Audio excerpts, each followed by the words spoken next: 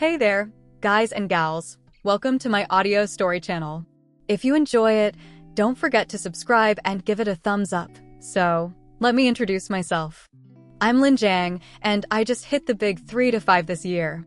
Now, buckle up, cause I've got a story for you about how I ended up living far from my folks. Picture this.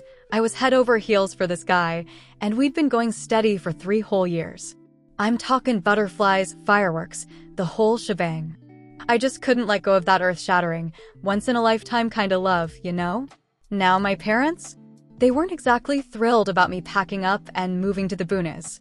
They were all worried I'd be lonely and lost in a strange place.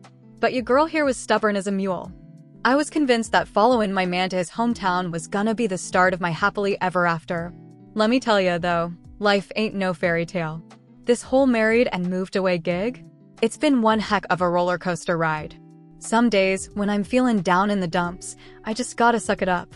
I mean, I can't go crying to my folks, right? I made my bed, now I gotta lie in it. But here's the kicker that spark between me and the hubby? It's not exactly burnin' as bright as it used to. It's like we're just existing together, you know? I'm trying my darndest to keep the ship afloat, but deep down, I'm feeling lonelier than a cloud in a clear sky. And don't even get me started on the bedroom situation. My man's been hitting the bottle pretty hard, and let's just say his performance ain't what it used to be, if you catch my drift. So, this past Chinese New Year, the Hubs jets off for some job in who knows where, leaving me and the kiddo back at his parents' place. Thank the heavens his folks are still spry enough to help out with the little one, cause let me tell ya, being a full-time mama is no joke. To make ends meet, I decided to open up a tiny clothing store. But business? It's about as hopeful as a snowball in July. I'm barely scrapping by each month, and with the hubby MIA and his paycheck nowhere to be seen, things are getting real tight. I used to think love could conquer all, you know? But now I'm wondering if our relationship's got enough umph to weather this storm. The other day, I rang up the hubby, hoping he'd show a lick of concern about our money troubles. Hey babe, Rent and utilities are due. What should we do? His response? Cool as a cucumber. Paychecks coming in a couple days. Just hang tight. But I've been hanging tight for months now and still no dough in sight. Back in the day, I thought I could live on love and air. But real talk? When you're broke, love don't pay the bills. To save some cash, I've had to make some changes. New clothes? That's a luxury I can't afford anymore.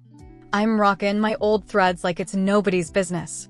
Now, I might not be a supermodel, but I've got legs for days, and I still turn heads when I'm out and about. I sell men's clothes, and there's this one customer, Su Tao, who's become a regular. He swings by once a month, sometimes bringing his work buddies along. We've gotten pretty chummy, even added each other on WeChat. Turns out, Tao's from out of town too, working on some project here. We've got a lot in common, being away from home and all. It's nice to have someone who gets it, you know? But here's the latest drama. My in-laws caught this nasty bug recently. We tried the whole medicine cabinet, but nothing worked. Had to drag M to the hospital for some foraction. Talk about stress city. So yeah, that's where I'm at right now. Life's throwing me some curveballs. So, there I was, forced to shut down my little shop and rush to the hospital to play nurse for my in-laws. I'm talking 24-7 bedside duty, y'all. I rang up the hubby, begging him to get his sister to lend a hand. But did he step up? Heck no. She hit me with the ol' I gotta watch the kid excuse. Talk about a punch to the gut. I'm telling ya, at this point, I'm feeling lower than a snake's belly in a wagon rut. My marriage? It's on life support. The Hubs is colder than a penguin's tootsies, and he's about as understanding of our money troubles as a rock. It's like I'm trapped in one of those Chinese finger traps, you know? The more I struggle, the tighter it gets. But wait, it gets better.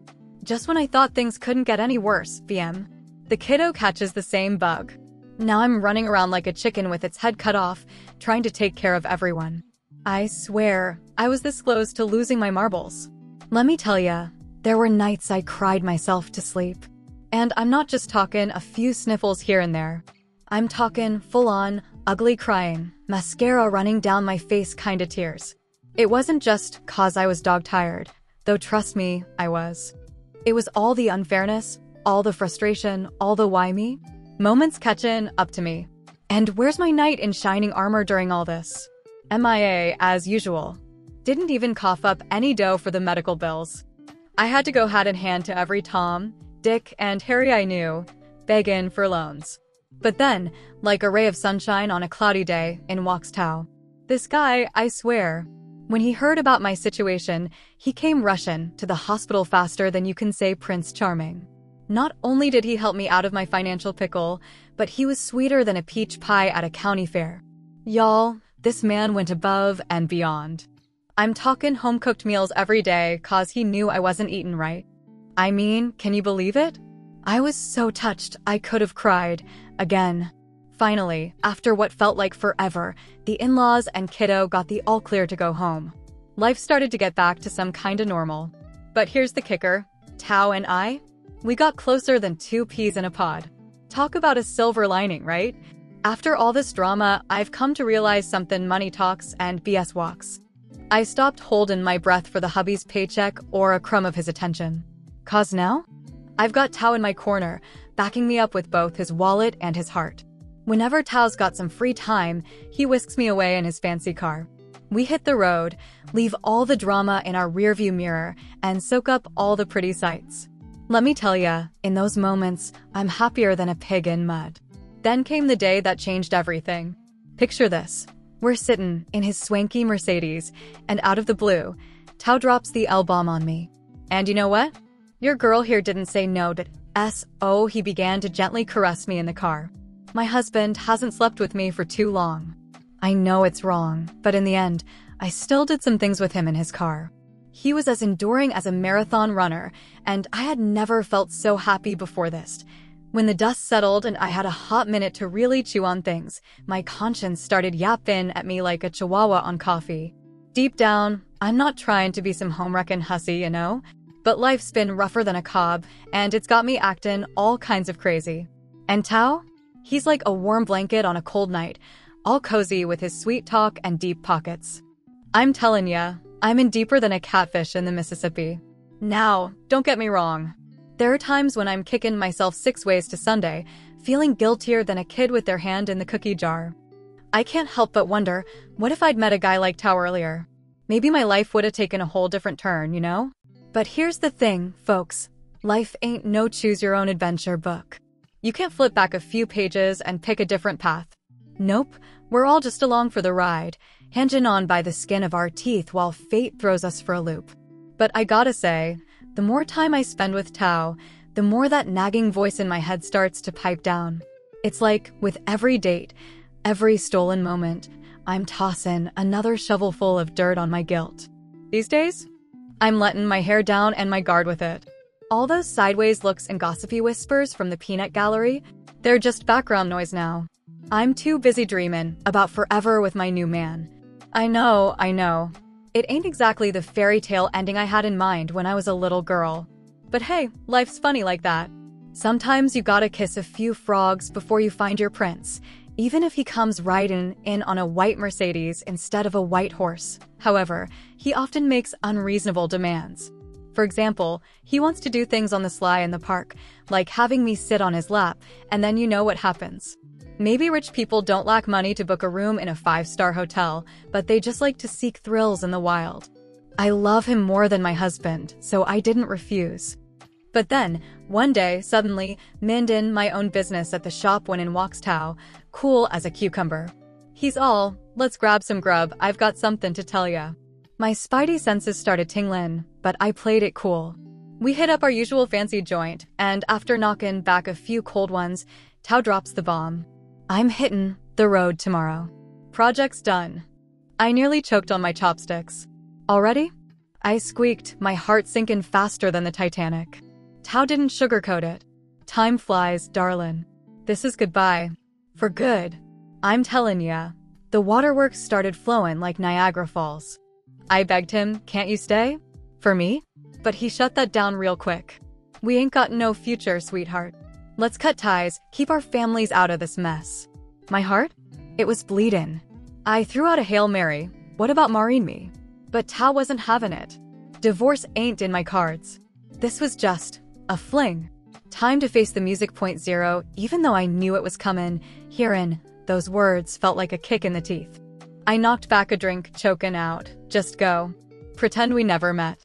Tao, bless his heart, got all worried. But I shooed him away. I'll be fine. Go on, get. As soon as he was out of sight, I lost it. Ugly crying, mascara everywhere. Endings are always a real kick in the pants, ain't they? Back at home, I was like a lovesick teenager, trying to reach out to Tao. But every time, nothing but crickets. He'd gone and deleted me faster than you can say ghosted. Talk about a punch to the gut. Nights were the worst. Lying there in that big, old, empty bed, my mind kept playing our greatest hits on repeat. All them sweet moments?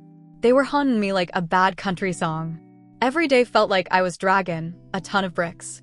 Cause deep down, I knew Tao was gone with the wind. Sometimes I'd catch myself wondering if it was all just some crazy dream.